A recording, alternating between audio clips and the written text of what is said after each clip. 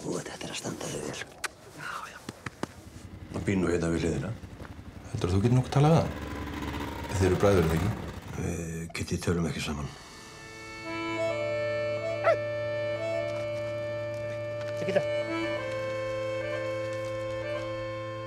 Og sigurvegarinn í ár er Kristinn Böðvarsson með Rútin Sprota.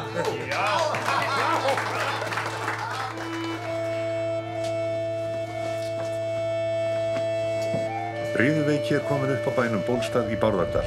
Þetta er í fyrsta sinn sem veikin kemur upp í dalnum. Þeir eh, telja að samgangurinn sé það mikill. að Ef að eigi að útrýma veikinni, þá verður það að skera allan dalinn.